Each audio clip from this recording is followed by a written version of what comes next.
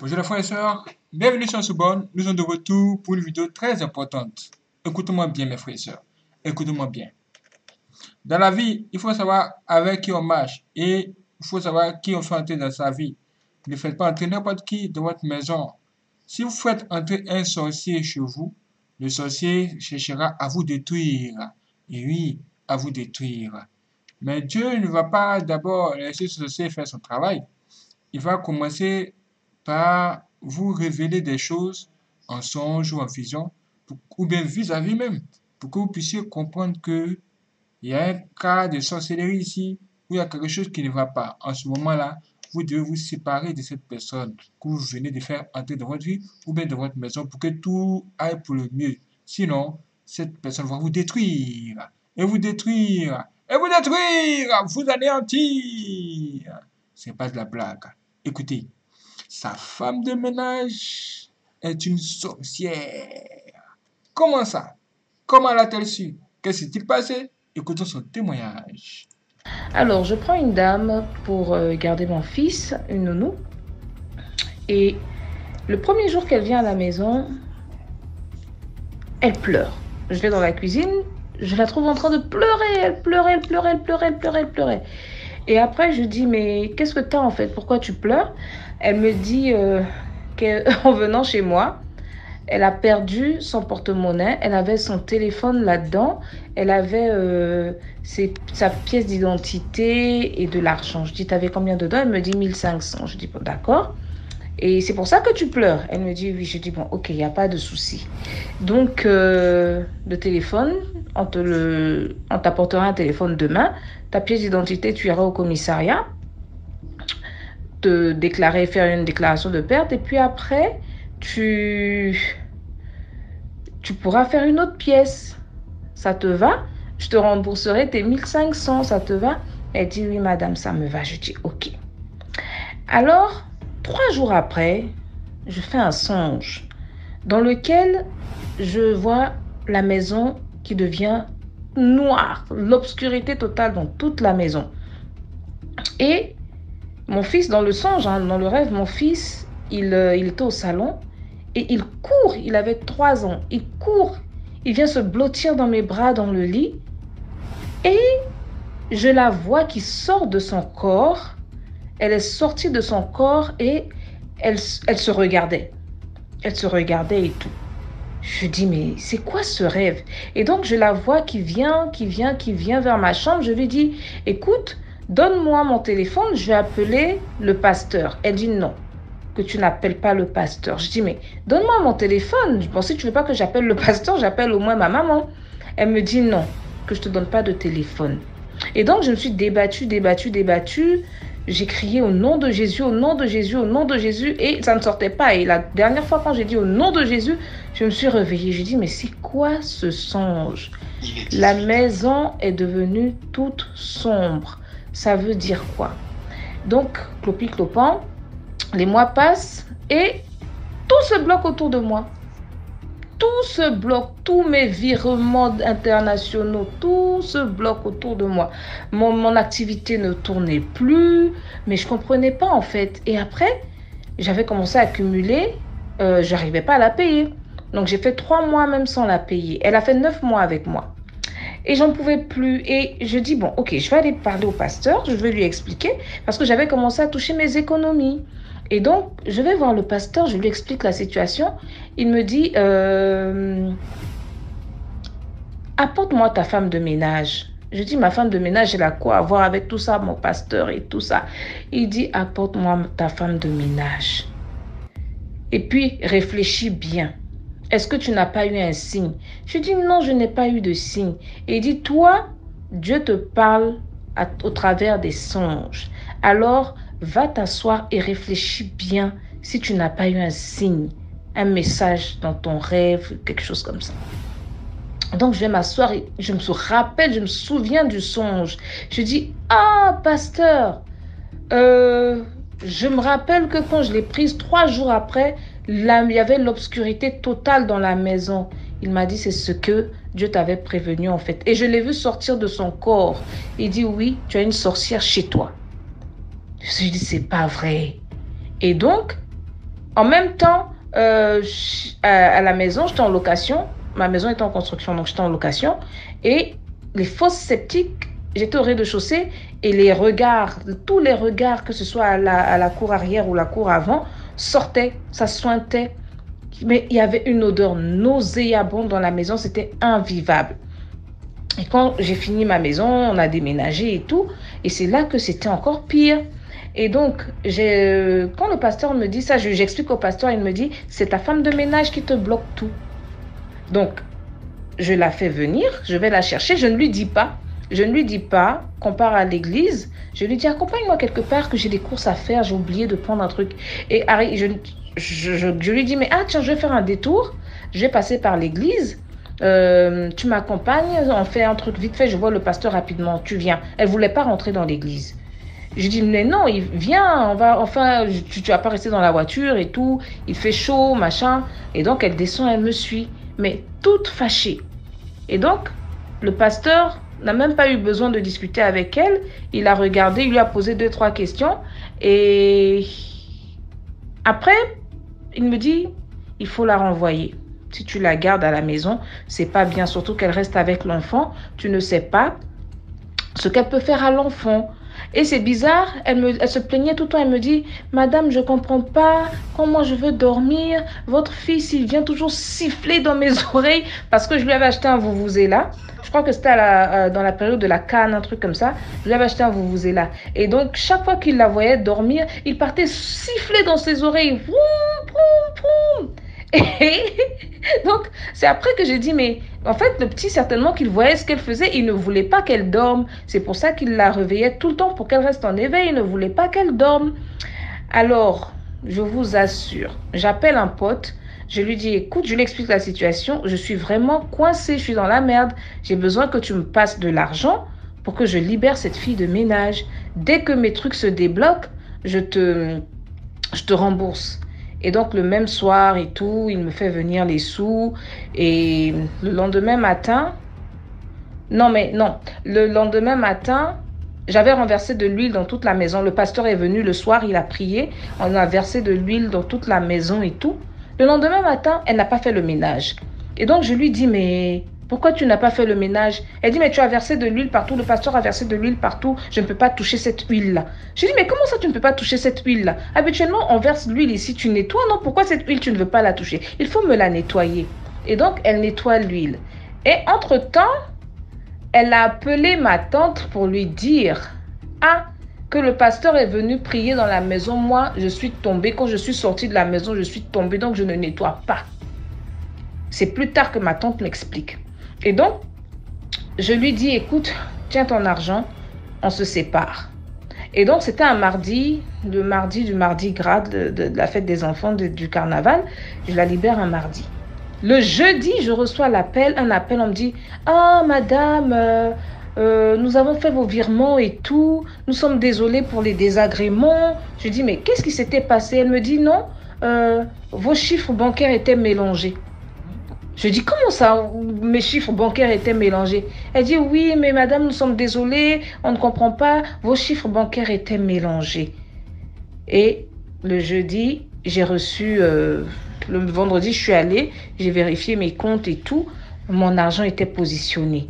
Donc, euh, après, je vais voir ma tante, je lui explique un peu la situation et tout. Elle me dit, oh, mais celle-là, tout le monde savait qu'elle était sorcière. Je dis, mais comment ça, tout le monde savait qu'elle était sorcière? Toi, tu sais qu'il y a une sorcière chez moi et tu ne me dis pas et elle garde mon enfant? Eh ben, eh ben, dis donc, c'est- tellement étrange. J'ai dit, bah, ok, il n'y a pas de souci. Ben, elle n'est plus là. Donc, euh, faisons vraiment attention à toutes les filles de ménage que nous prenons et euh, toujours euh, les emmener, je dis, hein, toujours les emmener vers le pasteur pour qu'on les scanne parce qu'on ne sait pas qui en fait rentrer chez nous. Avant de faire entrer qui que ce soit dans votre vie, je répète, priez, demandez à Dieu de savoir qui est cette personne. Quel est son état d'âme? Est-ce que cette personne travaille avec le diable ou pas? Si cette personne travaille avec le diable, il enlève cette personne dès le premier jour. Dès que vous êtes au courant, éloignez-vous de cette personne. Dieu peut en songer, en vision et par n'importe quel signe que vous allez voir. Comme le signe qu'elle a vu, où elle a vu ses affaires se bloquer à gauche et à droite. Ça, c'est un signe qui ne trompe pas. Ha! Analysez très bien votre vie maintenant. Pendant neuf mois, mes finances étaient bloquées à tous les niveaux. Dès que je l'ai libéré, deux jours après, mon virement, mes virements se sont débloqués. Ça, c'est un signe qui ne trompe pas. Nous continuons avec un autre témoignage audio commun. C'est parti. À l'époque, je vivais avec euh, mon époux. C'était mon compagnon avant de devenir mon époux. Et je fais un rêve. Dans le rêve, on me poursuivait. C'était un homme fort, grand, costaud, robuste comme ça, noir, qui me poursuivait, me poursuivait, me poursuivait. Et là, je, me, je trouve ma maison d'enfance je rentre dans cette maison et je vais me cacher sous le lit. Après, je vois mon cousin qui vient et qui parle avec le gars. Il dit, mais qu'est-ce que tu veux à ma petite sœur? Le gars lui dit, c'est ta petite sœur. Il dit, oui, c'est ma petite sœur. Et donc, il me lance un sale regard. Il me dit, tu as la chance que tu es sa petite sœur. Sinon, tu allais voir ce que je t'aurais fait. Tu allais voir ce que j'allais te faire. Et donc, je me réveille. Je dis, chérie, j'ai fait un mauvais rêve. Il dit lequel? Je lui relate le rêve. Il me dit, oh, toi et tes rêves. Oh là là. Je dis, non, il était trop réaliste celui-là. Euh, S'il te plaît, au retour du travail, achète-moi un test de grossesse. Il a dit d'accord. Donc à son retour, il a même ramené deux tests. et donc je fais le premier test, il est positif. Le lendemain matin, de bonne heure, je fais euh, le deuxième test. Je vais à l'hôpital, je découvre que je suis enceinte de deux mois. Je dis, mais c'est pas possible, j'ai eu mes règles en fait. Et c'est ce que même mon mari disait, il dit, mais tu as eu tes règles, c'est pas possible. Je dis, ben voilà, c'est possible, j'ai eu mes règles pendant deux mois, je savais pas. Donc, si je n'avais pas fait ce rêve, j'aurais jamais su que j'étais enceinte, que, que j'étais enceinte, et j'aurais certainement perdu mon bébé. Voilà. Aujourd'hui, mon fils, il a 10 ans, et tout se passe bien. C'était ma petite histoire. Waouh. Bien, nous allons écouter une histoire hors du commun, une affaire de fantôme. Euh, mon histoire s'intitule Le fantôme de mon épouse vient constamment me rendre visite. Cette histoire, je l'ai entendue de l'un de nos professeurs lorsque nous étions encore à l'école. Euh, les instituteurs habitaient dans, euh, au sein de l'école. Donc le directeur de l'école a eu à perdre son épouse. Et il s'avérait qu'après, cette dernière venait constamment à la maison. Mais quand le directeur s'est remarié, il n'a pas fait cas à sa nouvelle femme. Donc un jour, lui s'était absenté pour aller à une réunion qui s'est terminée très tard dont la dame était seule à la maison. Il, il faisait déjà nuit. Donc elle a tout fermé, elle s'est couchée. Donc, à un moment de la nuit, elle dit qu'elle sent qu'il y a des pas qui se font entendre dans la chambre. Le chambre a couché d'abord dans la maison, ensuite dans la chambre. Les portes s'ouvrent, se referment. Donc ça l'a un peu intriguée, elle est sortie, elle a regardé. Elle a cru d'abord que c'était son mari, donc ça l'a pas inquiété. Elle n'a pas d'abord réagi, mais elle a vu que la personne ne vient pas dans la chambre. Donc elle a regardé, elle a vu qu'il n'y avait personne. La chambre s'ouvrait, se fermait, il n'y avait personne, donc elle est revenue se coucher. Et à un moment, elle sent comme si quelqu'un qui s'assoit sur le lit. Donc quand vous êtes assis, vous voyez que le lit s'affaisse lorsque quelqu'un est assis à côté. Donc c'est la même chose. Le lit s'est un peu affaissé. Donc elle a senti que quelqu'un était assis. La porte n'a pas été cette fois-ci ouverte, la chambre n'a pas été ouverte, mais sans que quelqu'un assis, qu'une personne assise à côté. Donc, elle regarde, elle voit personne, ça l'a un peu effrayée, donc elle est restée immobile, quasi congelée dans son coin, sans parler, sans rien faire. Et comme son mari, le, directeur, il aime beaucoup boire du thé ou du café lorsque il veut se coucher, donc elle avait déjà préparé le, le nécessaire pour le café, la théière avec l'eau chaude, la thermos avec l'eau chaude était là, le café, le sucre, le lait, tout était déposé.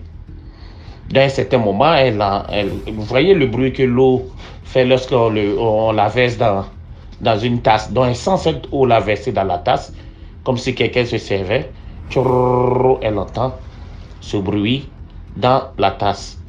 Elle est couchée pendant ce temps. Elle tourne la tête, elle ne voit toujours personne.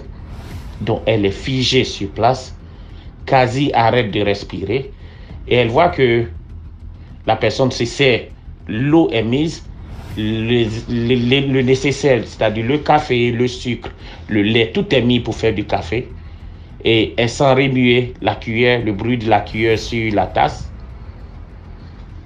Tout ça, elle, est couchée, elle entend. Et ensuite, le bruit de quelqu'un qui boit le café.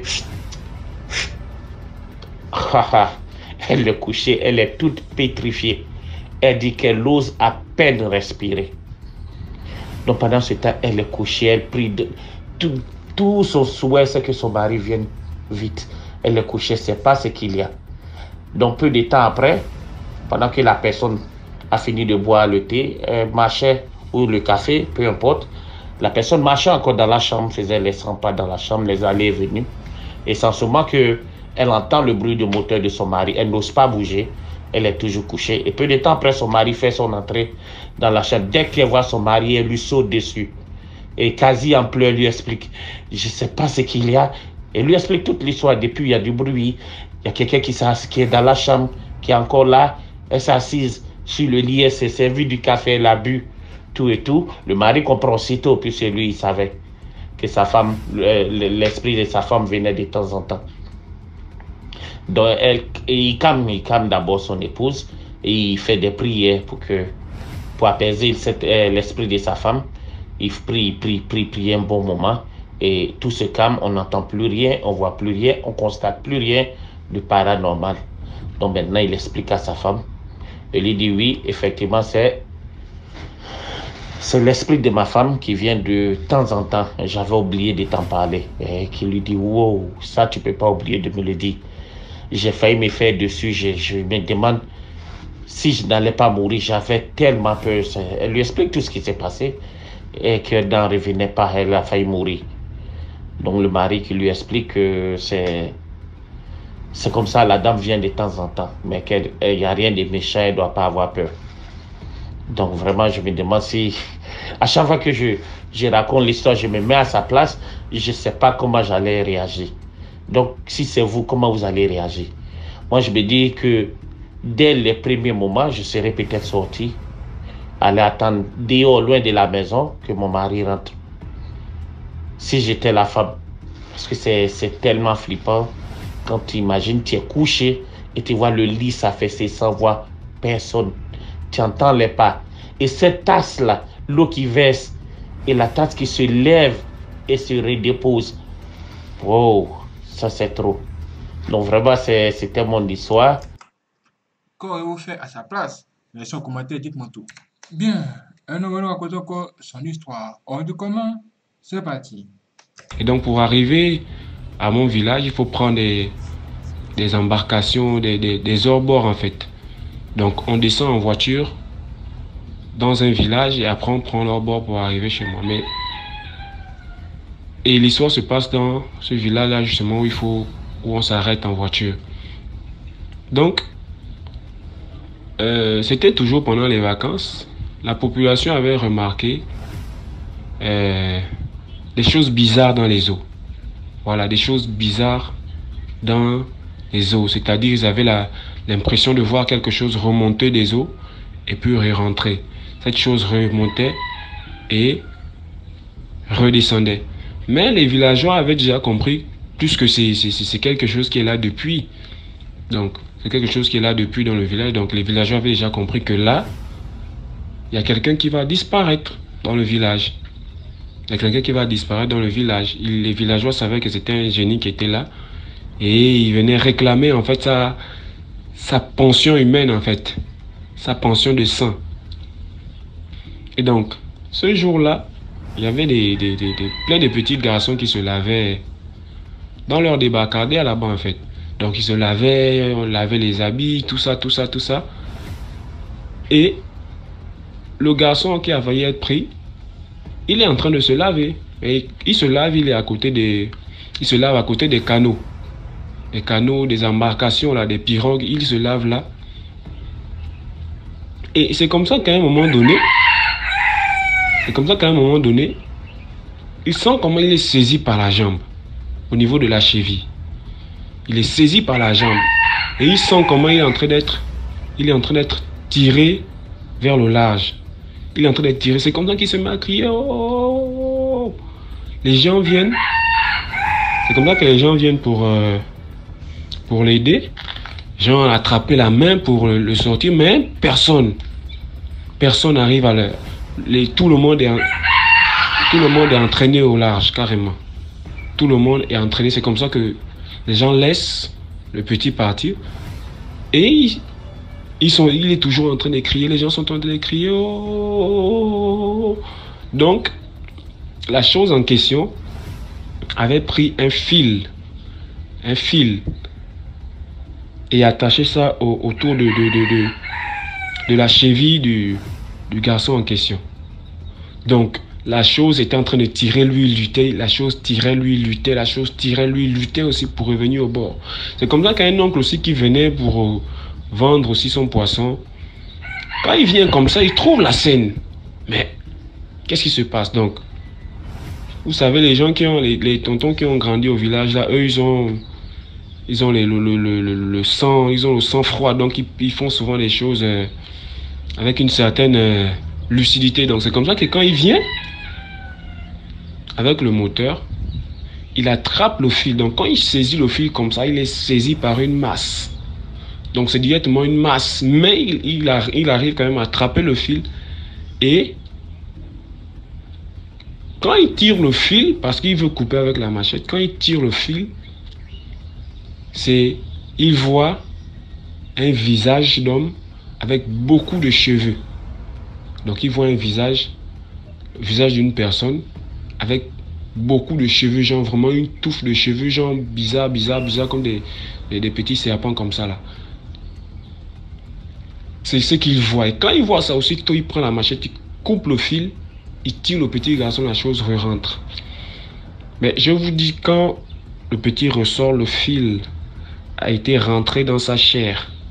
Donc le fil que le, génie en question l'avait attrapé, l'avait attaché avec, est carrément rentré dans sa chair, était déjà en train de le couper euh, la cheville. Voilà. Et après ça, on a dit à, mon oncle là que ben, il, faut, faire attention parce que tu peux être une, cible. Tu fais rater à, à, quelqu'un comme ça son déjeuner, c'est que ça va être compliqué pour toi après. Donc euh, voilà pour euh, la deuxième histoire que j'avais à vous partager. Ça veut dire que c'était un triton qui était là. Genre euh, sirène mâle, quoi. Waouh. Hein? Ça, c'est quoi ça? Bien, nous écoutons le témoignage et une histoire du commun. Il est question d'une amitié ici de près de 20 ans. 20 ans, c'est une grande sœur pour moi. Je l'ai connue dans le milieu professionnel et voilà, c'est une grande sœur, c'est une belle personne. Et en passant, grande sœur, vraiment, s'il te plaît, si, tu, si jamais tu te connectes à la page DMJ et que tu te reconnais, sache que le, but n'était pas de, voilà, de, t'indexer, de t'exposer, mais plutôt de, de juste sensibiliser, de, voilà, bref, beaucoup de choses dans le genre. S'il te plaît, je t'en supplie. Alors les femmes et les hommes aussi, il s'agit d'une petite fille, d'un petit bébé que j'ai connu toute petite, toute petite, parce que la grande soeur qui et moi, il y a un bon nombre d'années d'écart, près de 8 ans par là. Mais c'est une super amie, c'est plus qu'une amie, comme je dis, c'est une grande soeur. Et on s'est retrouvés à partager tellement de choses que quand elle a commencé à faire ses accouchements, bien avant moi, elle avait eu à renommer beaucoup de membres de sa belle famille. en Afrique, vous savez, la plupart du temps, c'est comme ça que ça se passe, voilà. Et alors, à un moment, elle avait renommé la belle-mère. Je pense que c'était sur la quatrième, la petite, la première des filles. et son quatrième enfant. Et il arrivait souvent qu'elle envoie la petite ambition passer des vacances chez la grand-mère, quoique cette dernière ne l'aimait pas, ne l'appréciait pas, ne l'a jamais apprécié d'ailleurs. Donc, avec le recul, l'enfant rentrait et lui disait euh, Maman, vraiment, moi j'aime pas trop aller chez grand-mère. Elle me tâte le ventre dans la nuit parce qu'il arrivait souvent que la petite dorme avec sa mombo. Et je, je, n'aime pas dormir avec grand-mère. Elle me tâte le ventre dans la nuit. Euh, elle parle toute seule. Et puis voilà, il arrivait que quand elle mange, elle donne des choses à l'enfant et tout. Et ma copine lui dit, laisse ça, qu'est-ce que tu en sais? C'est parce que grand-mère t'aime, c'est normal, tu es sambombo et tout et tout. Bref, je passe les détails et puis voilà. Et on est arrivé au stade où la grand-mère est morte. La grand-mère est morte. Donc, euh, les faits se produisent près de un an plus tard, par là. Il arrive que ma, ma soeur, là, vivant en appartement, cette grande soeur constate que des fois dans la cuisine de l'appartement, l'enfant est arrivé à allumer un feu de bois. Vous pouvez imaginer ça. Hein? Que l'enfant allume un feu de bois en plein appartement. Où s'est-elle procuré du bois? On ne sait pas. Bref. Elle commence à taper sur l'enfant. Et à partager un peu son, ce désagrément avec moi. Alors je lui dis que je trouve pas l'histoire très normale. Pourquoi, pourquoi cet enfant pourrait se comporter comme ça? Et surtout qu'elle disait que quand elle interpelle l'enfant, la petite a un regard bizarre, pour dire quoi? Bizarre complètement. Et après, il arrive d'autres fois où la petite va prononcer le nom de sa grand-mère, prononcer le nom de sa grand-mère, prononcer, bon bref, à répétition. Donc c'est des choses où elle lui dit, tais-toi. Mais qu'est-ce que ça signifie? Bref, tout le temps, elle reprenait l'enfant. Et au finish, il s'avère qu'un jour, en battant sur l'enfant par rapport à l'attitude que la petite avait, la grand-mère s'est dévoilée. Ça a été du style. Laisse-moi, c'est quoi? Ça, c'était le départ. Elle a senti que, mais qu'est-ce qui ne va pas? Alors, elle en a parlé à sa maman qui a commencé à effectuer des recherches. Vous connaissez nos mamans. Et alors, elle a décidé de l'emmener chez un prêtre exorciste. Bref, elles ont marché un peu au début, pasteur, machin. Mais euh, la meilleure amie de cette dernière lui avait conseillé un prêtre exorciste chez lequel elles se sont rendues et qui lui a demandé des personnes sûres. Alors nous voilà autour d'un cercle. On était environ neuf. J'abrège, énormément sur l'histoire. On se retrouve autour d'un cercle, en environ neuf. Il y a sa maman, il y a sa grande sœur aînée, il y a elle-même, il y a moi, sa petite sœur par affinité, il y a notre de ses meilleurs amis également. Il y a les intercesseurs, il y a le prêtre en question. Alors on commence l'histoire. Mon Dieu, je sais pas, mais c'est là que mon souffle se coupe un peu parce que ce que j'ai vu, ce que j'ai vécu, l'enfant là, le prêtre parlait. Le prêtre parlait. Je vous passe des détails, mais il parlait. Vous imaginez une séance d'exorcisme vivante. Déjà, je dis mes respects à tout cela parce que vraiment, c'est pas. C'est quelque chose que tu vis, il n'est pas comme quelque chose qu'on te raconte. L'enfant la sautait sur ses pieds comme une chèvre folle, comme un Satan, voilà. Les choses qu'on voit à la télé, mon Dieu, c'est vrai. Elle sautait. Déjà, quand la séance a commencé, elle était couchée. Elle était couchée parce qu'elle avait perdu les esprits. Quand le prêtre lui avait fait l'imposition d'un voile violet comme ça, la petite était, elle s'était coulée. Donc, quand on, la, on trace ce cercle, on la met dedans et on nous fait faire le tour avec les mains tenues, la petite était couchée. Mais quand elle s'est levée, je vous dis, je ne sais pas comment vous expliquer ça, mais elle était sur ses pieds, tu sentais pas cet enfant, tu ne la sentais pas. Elle sautait comme ça. Et alors, à un moment, elle sautait comme si elle narguait les gens. Donc, on aurait dit qu'elle jouait à quelque chose. Et puis, à un moment, plus de prêtre parlait, il a ordonné. Et la petite, enfin, cette vieille femme, parce que je suis en colère. Mais c'est une colère, je sais pas. Vous êtes des mamans. Cette petite a commencé, enfin, cette vieille femme a commencé à crier Laissez-moi, laissez-moi, je ne sors pas, je ne pars pas. Non, je ne sors pas, c'était à la fin. Parce qu'à un moment, j'ai même perdu mes esprits moi-même. Elle a commencé à dire, je ne sors pas. Non, je, ne- je ne pars pas. Laissez-moi, c'est vous qui m'avez donné le nom. N'est-ce pas, tu savais que je ne t'aimais pas? Tu me forçais pourquoi? Qu'est-ce que tu voulais me prouver hein? Tu ne savais pas que je ne t'aimais pas. Maintenant, alors, tu vas me prouver que tu m'aimes.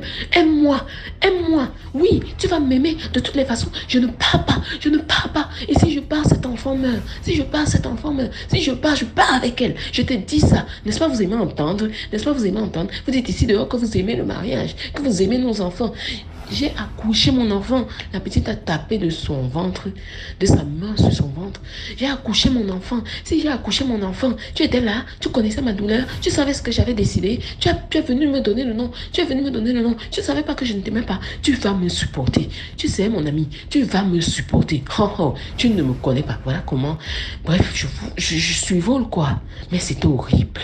C'était horrible parce que la petite, je vous jure, c'était pas un enfant, c'était tout sauf un enfant. J'avais jamais vu quelqu'un de posséder à ce point, mais c'est moche. C'est tellement moche que c'est c'est pas simple à expliquer.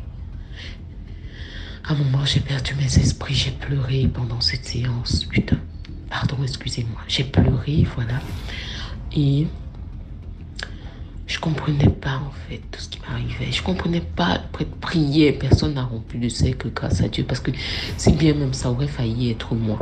Donc, on a, on a, bref, il a prié. Et quand on avait fait le cercle, il nous avait demandé chacun de prier, de demeurer fort dans, dans sa foi.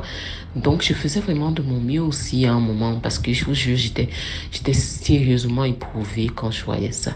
C'est tellement moche que je sais pas comment vous décrire ça, mais c'est franchement moche. Et donc, du coup, euh, quand le prêtre a soufflé sur cet enfant par la force du Saint-Esprit, la petite, elle s'est.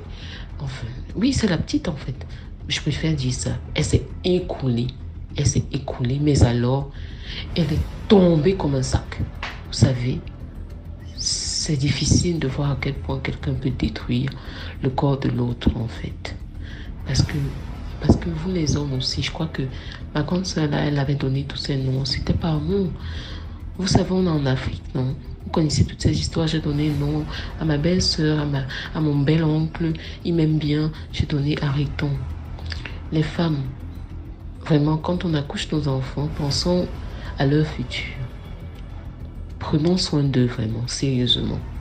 Si on ressent des choses dans nos belles familles, vraiment ne nous gênons pas, parce qu'il y va aussi du bien-être et du futur de ces enfants. Nous sommes tous en pèlerinage sur Terre. On ne sait pas qu'est-ce qui a dominé la vie de ces personnes avant qu'on ne les rencontre. On ne sait pas grand-chose. Donc, quoi qu'on les aime, quoi qu'ils fassent mine de nous apprécier, n'exposons pas autant nos enfants. Vous en supplie. Donc, c'est comme ça que on s'est retrouvé dans une situation où la petite s'est écoulée, boum, comme un vieil animal. Je ne sais pas pour ceux qui ont vécu avec des chiens qui ont atteint leur maturité. Quand ces histoires, quand ces animaux tombent sur eux, tu te demandes, mais qu'est-ce qui s'est cassé? On te dit, c'est le chien qui, qui s'affalait. En fait, c'était de ça. Mais imaginez, peut-être deux fois plus que ça. La façon dont elle est tombée. Et alors le prêtre et le papa et un intercesseur soulève la petite. Et mais la rigidité, mon Dieu, les vieux os de la sorcellerie, les vieux os de la possession. L'enfant là, elle se les pesait comme un cercueil. Tant bien que mal, les hommes sont allés la déposer parce que c'est une histoire récente dont la petite est encore en séance. La grand-mère n'est pas sortie. Ce n'était pas la première séance d'exorcisme, mais c'était la première à laquelle j'ai participé. C'était la première où on a tous formé un cercle comme ça. Je ne sais pas si j'aurai la force d'y retourner. Je ne sais pas, en fait, beaucoup de choses. Vous savez, quand même, après près de 20 ans d'amitié, en même temps, je me sens tenue par, ça de d'assister, de soutenir du mieux que je peux. Bon, bref, voilà, je vous passe les détails de notre relation intime. Mais, mais ce que je voulais dire ce soir, c'était que je vous en prie, les femmes, enfin ce matin, c'était que je vous en prie, les femmes, les hommes aussi. Soutenez vos partenaires. Quand je suis rentrée chez moi, j'étais, j'étais à Bazoudi, j'étais dans les VAPS. J'ai pleuré en racontant ça à mon partenaire de vie. Et je me suis dit merci Seigneur parce que quand on avait fait le choix, tout délibérément comme ça, de ne pas donner de nom aux gens, il nous disait pourquoi vous êtes égoïste comme ça et tout? Bref, on s'était dit non. Chacun a son histoire avec Dieu, chacun a sa réalité sur terre. Nous-mêmes, on porte des noms. Je vous promets que parfois, quand il nous arrive des choses dans la vie, on se demande d'où est-ce que ça sort. Donc, à combien plus forte raison commencer à renommer les enfants tout le temps. Donc, bref. Ce qui est, c'est que, voilà pour la petite histoire. Je sais pas, j'ai essayé de faire court, mais vous-même les femmes aussi, vous aussi les hommes,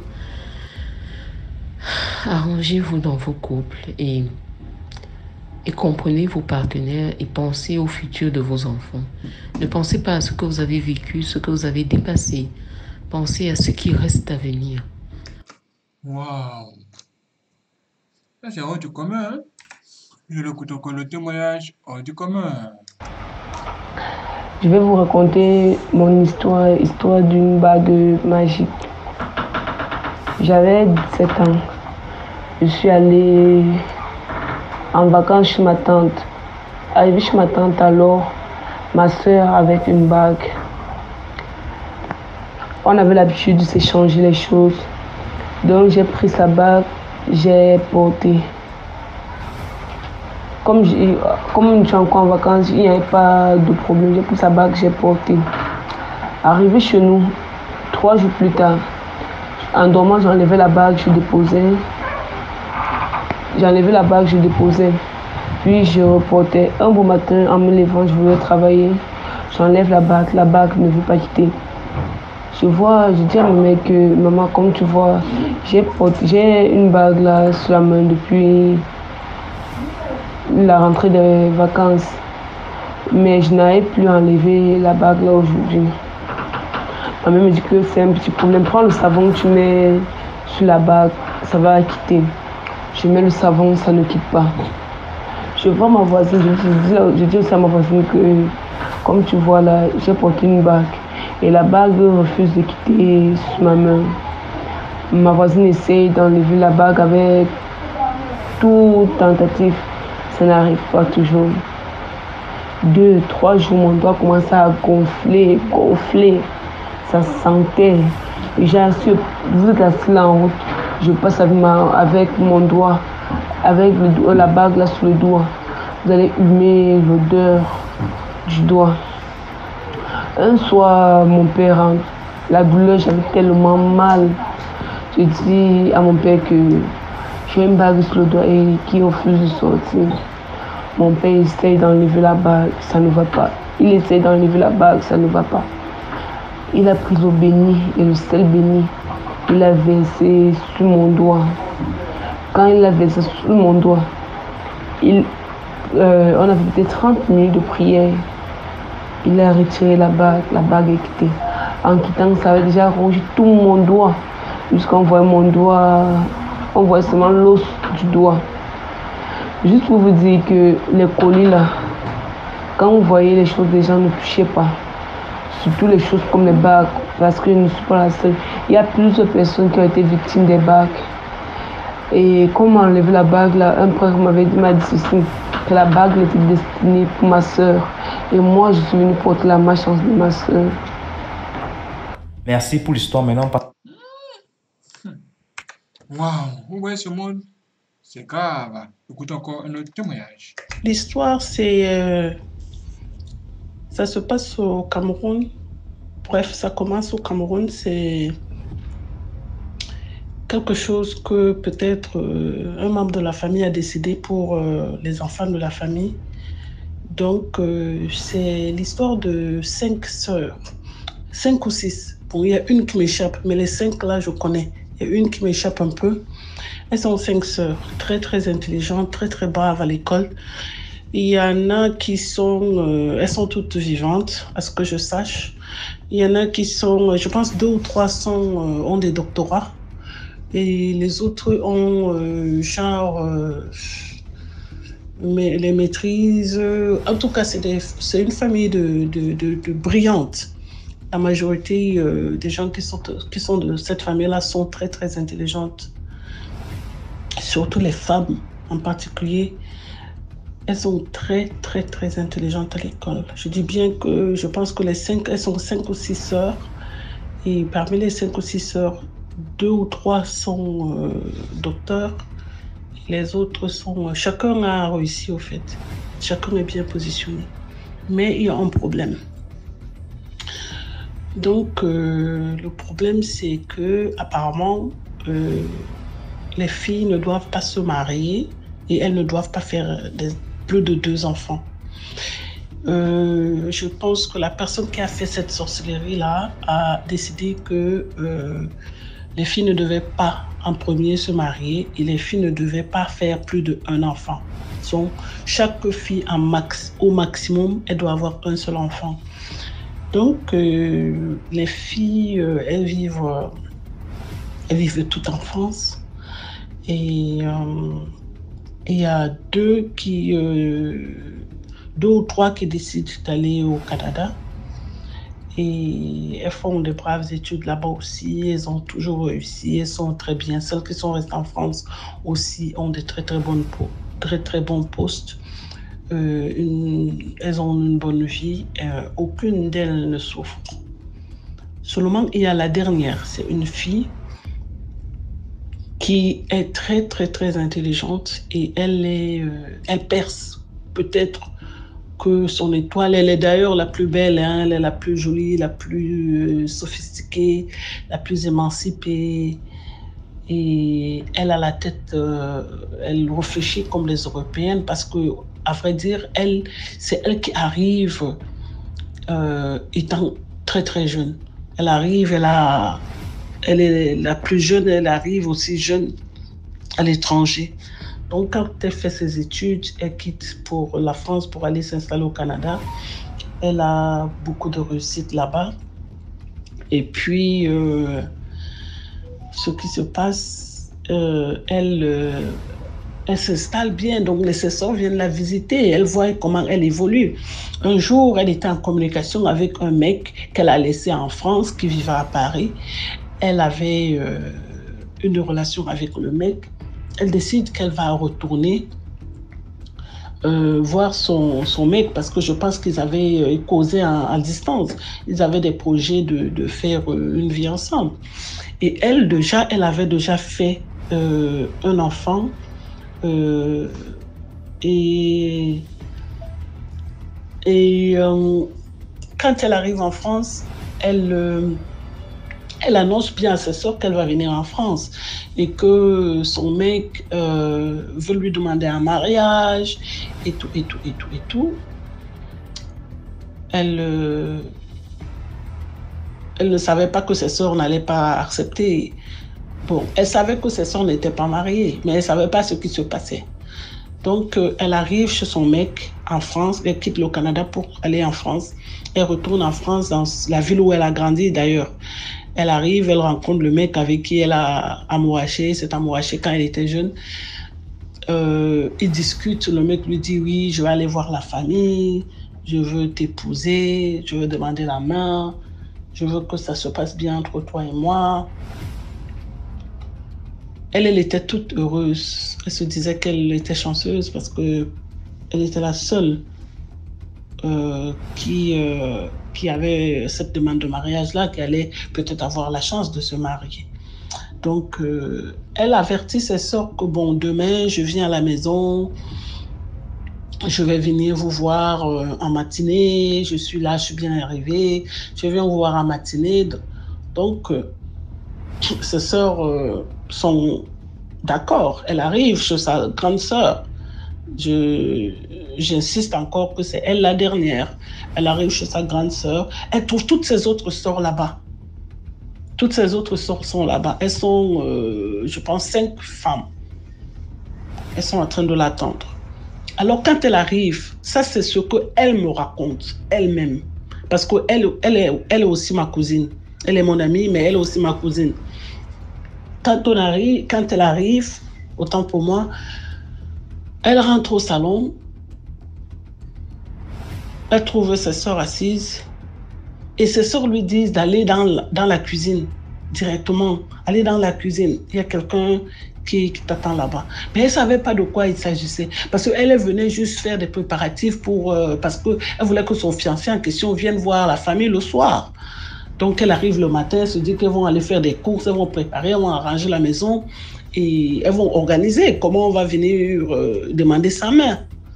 Elle arrive dans la cuisine, elle trouve un monsieur là-bas, un monsieur avec un accent de l'Afrique de l'Ouest. Et précisément, c'était un Béninois. Ça, c'est ce qu'elle, elle me dit. Elle me dit c'était un Béninois. Le monsieur, il y avait plein de choses que le monsieur est en train de, faire là-bas dans la, dans la cuisine.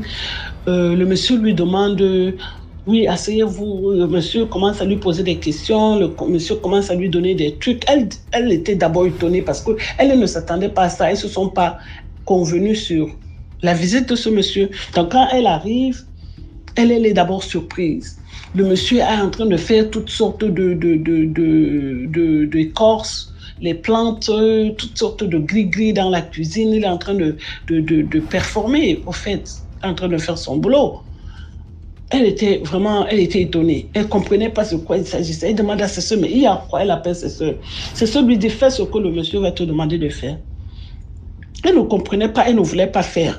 Elle, elle était vraiment toute sérieuse. Le monsieur l'a touchée avec ces trucs-là qu'il avait, mais elle, elle ne voulait pas de ça. Elle comprenait pas, elle était vraiment pas à l'aise. Parce qu'elle était, déjà, elle était surprise. Ça la, ça, ça la trouve par surprise, elle est choquée, elle comprend pas. Mais qu'est-ce qui se passe? Pourquoi ce, ce, ce, ce- pour- C'est quoi? Et après, bref, elle se lève, elle, dit euh, non, moi je vais aller m'asseoir au salon, je vais causer avec ma soeur, je vais comprendre ce qui se passe. Donc, je ne sais pas si le monsieur, ce que monsieur a fait là-bas avait son nom et, et tout et tout. Elle se met au salon, elle cause, elle discute avec ses soeurs.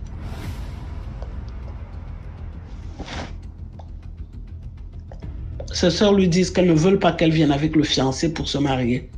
Elle refuse la relation avec l'homme. Elles ne veulent pas cette relation-là. Elle pose la question, mais pourquoi vous ne voulez pas? Il se passe quoi? Est-ce que le mec, il a fait quelque chose qui est mauvais? Qu'est-ce qui s'est passé ici pendant que moi, je n'étais pas là? Il est en France avec vous. Moi, je n'étais pas en France pendant longtemps, j'étais au Canada, mais qu'est-ce qui se passe? Lui moins en cause Il m'a pas dit qu'il y avait un souci, il m'avait pas dit qu'il y a un problème. Et ce soir, lui aussi, là, il s'apprête à venir avec sa famille, avec ses amis, pour venir demander la main. Alors, il se passe quoi? Il y a quoi? Elle ne comprenait pas. Donc, apparemment, dès qu'elle va, euh, elle se lève, elle quitte, elle retourne dans la- l'appartement de, de son fiancé en question. Quand elle arrive là-bas, elle trouve son fiancé là, farouche. Farouche. Le fiancé lui dit, écoute, moi, je ne veux plus que la relation là continue. Comme euh, tu me dis que tes soeurs aussi ne veulent pas que la relation continue, moi aussi je ne veux pas que la relation continue. Tes soeurs ne veulent pas qu'on se marie, moi-même je ne veux pas. Donc, elle discute avec son fiancé et elle essaie de, de se mettre à l'aise avec son fiancé à discuter. À sa grande surprise, quand le mec se réveille le matin, il emballe tous ses trucs. Il lui dit, remets tes trucs dans ta valise, tu as déjà fait cinq jours chez moi, remets tous tes trucs dans ta valise et sors de chez moi. Ne reviens plus jamais chez moi. Quand elle m'a raconté ça, j'étais sidérée. Donc apparemment, ce que ses soeurs ont amené le monsieur pour faire dans la maison, c'était pour anéantir sa, relation avec son fiancé. C'était pour casser la relation avec son fiancé, son fiancé que ses sœurs ont fait venir le charlatan dans la maison. La relation avec son fiancé s'est terminée. Elle a pris sa valise, elle est rentrée chez ses sœurs. Elle est partie. Elle a fait encore, je pense, deux jours chez ses sœurs. Elle a pris l'avion, elle est repartie au Canada. Pendant qu'elle est au Canada, elle rencontre quelqu'un d'autre. Ils font une relation. Je pense qu'elle rencontre plutôt la personne aux États-Unis. hein. Ils ont une relation. Ça se passe bien, elle tombe enceinte. là, je tiens à préciser qu'elle avait déjà fait une première fille. Et là, maintenant, elle tombe enceinte pour un deuxième enfant. Et dès que ses soeurs apprennent qu'elle est enceinte, trois mois plus tard, ça devient là. C'est là où la vraie guerre déclenche. Ses soeurs déclenchent une guerre. Moi, je n'étais pas au courant. Je causais avec elle de temps en temps au téléphone. Mais je n'étais pas au courant, je n'étais pas près d'elle. Mais le jour que je me suis levée pour aller la visiter, c'est là où elle s'est assise. Elle m'a raconté tout. Elle m'a dit, parce qu'elle était devenue extrêmement malade. Elle avait mal au bras. Il était question qu'on coupe le bras. Elle a eu mal au bras. On ne savait pas d'où la douleur venait. On surveillait, on regardait, on faisait les scanners à l'hôpital, elle faisait toutes sortes de, de traitements. Ça montrait que elle avait mal au bras, mais on n'arrivait pas à déterminer quelle maladie elle avait. Elle a attrapé soit le cancer des os, et on voulait même couper son bras à l'hôpital. Au fait, la femme était extrêmement malade. C'est quand moi je me lève pour aller visiter cette dame qu'elle me raconte tous ces détails-là. Elle me dit qu'elle est entre la vie et la mort. Mais elle priait. C'est cette femme qui m'a mise dans les histoires de prêtres exorcistes. Elle priait, elle priait, elle priait. Elle allait voir les prêtres anglophone là, de partout là, dans, son, dans sa ville. Il faisait des prières, elle priait, elle allait à l'hôpital, elle priait. Et elle avait une, sa première fille qui était déjà là, elle, elle était encore enceinte. Pour qu'elle accouche, c'était tout un problème. Cette femme a été extrêmement malade. Elle a été tellement malade que j'avais pitié. Elle avait été. C'était une catastrophe. Elle a fait plus de deux ans de maladie. Il y avait des périodes de coma, entre autres. Elle a été très malade. C'est là où je pense, pendant sa maladie, que ses soeurs ont commencé à appeler petit à petit pour lui dire que oui, on a dit, on a dit qu'on ne devait pas se marier, on a dit qu'on ne devait pas avoir plus d'un enfant. Te voilà encore enceinte pour aller faire un deuxième enfant, alors qu'on a dit qu'on ne devait pas faire plus d'un enfant. On devait juste maximum un chacune et on ne devait pas se marier. C'est là où elle se révolte contre ses soeurs. Elle dit qui On mis pour qui? On mis pour qui? Qui a dit qu'on ne peut pas se marier? Qui a dit qu'on ne peut pas? Moi, je ne suis pas dans ça. Parce que je vous ai dit, elle, est arrivée très jeune en, France, elle a grandi avec la mentalité européenne. Donc elle quitte maintenant pour aller au Canada. Elle a cette mentalité européenne. Et alors, quand elle arrive au Canada, elle a la mentalité canadienne, elle a la mentalité américaine. Elle n'a pas les histoires africaines où on dit non, ça, ça, ça, ça, ça, ça. Donc elle était vraiment révoltée contre ses soeurs. Ça fait des guerres, des clashs, des, ça fait vraiment une guerre interfamiliale. Mais après, quand elle accouche et quelques années plus tard, ses soeurs sont allées lui demander pardon. Donc c'est toujours elle qui m'appelait au téléphone pour me raconter. Ses soeurs sont venues lui demander pardon pour dire que toutes ses grandes soeurs ont cotisé de l'argent pour faire venir un béninois pour que le béninois doit la gâter, pour que le béninois doit l'ensorceler, lui lancer un mauvais sort. Donc, elles ont toutes cotisé de l'argent pour que le type vienne faire le mauvais boulot, le sale boulot, pour la rendre malade. Moi, je pense que, ça c'est moi qui le dis, que elles ont payé le monsieur pour venir la tuer. Ça c'est moi qui le dis. Elles ont payé le monsieur pour venir la tuer c'est parce que comme elle était trop dans la prière, c'est pour ça qu'il ne faudrait pas qu'on néglige la prière. Pendant qu'elle était dans cette maladie-là, elle avait des pasteurs qui priaient pour elle, elle avait toujours des trucs de prière. Le jour qu'elle peut se lever comme ça, elle est toujours dans la prière.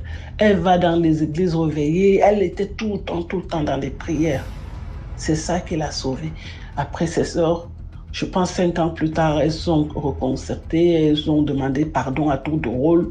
Une est venue s'installer chez elle, elle a demandé pardon, elle a expliqué tout ce qui s'était passé. L'autre est aussi venue, elle a expliqué ce qui s'était passé. Apparemment, c'est leur grand-mère. C'est leur grand-mère qui avait décidé que elle ne devrait pas se marier. Et ça, c'est une histoire qui est fréquente chez les Bantous. C'est une histoire qui est souvent fréquente chez les Bantous, surtout les Bantous du Cameroun, où on décide que les filles ne doivent pas marier, soit on dit que les filles ne doivent pas faire des enfants. Je ne sais pas c'est quelle sorcellerie. Même moi-même, dans, chez moi, il y a ça. On décide que soit vous ne faites pas des enfants, soit vous ne pouvez pas vous marier. Donc on vous bloque avec des, des, histoires mystiques. Donc euh, voilà, c'est pour dire que vraiment la prière aide. Cette femme a failli mourir. Moi j'ai vu cette femme. J'étais terrorisée moi-même de voir que ce sont ses propres sœurs qui payent quelqu'un pour la tuer. Et après, quand elles sont venues faire des larmes de crocodile, genre, demande pardon. Moi, je ne croyais plus à ce pardon-là. Je les regardais avec les princesses. La preuve, quand je me mariais à Paris, elle me donne le numéro de téléphone de sa soeur. Elle me dit qu'elle elle ne peut pas venir à mon mariage et que c'est sa soeur là qui doit venir la représenter. Ah Moi, j'ai réfléchi, j'ai dit, eh, ta soeur va venir représenter qui? Jamais.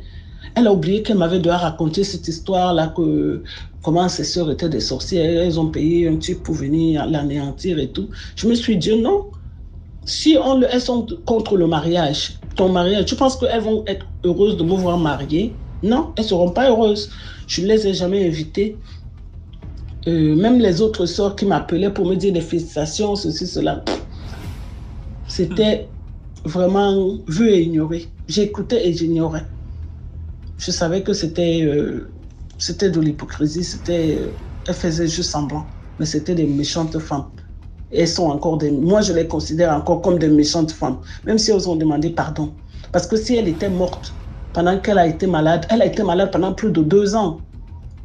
Deux, deux, trois ans, la femme a été malade, gravement malade. Si elle mourait, elle serait pas venue là pour faire euh, je demande pardon et tout et tout. Elles lui ont voulu la mort, donc après, il faut pas venir jouer les hypocrites. Donc voilà pour l'histoire, quoi. Eh, les gens sont méchants. Vous avez entendu ça? Hmm. Dites-moi ce que vous en pensez. Et si vous avez regardé cette vidéo jusqu'à la fin et que vous en commentaire, c'est fait.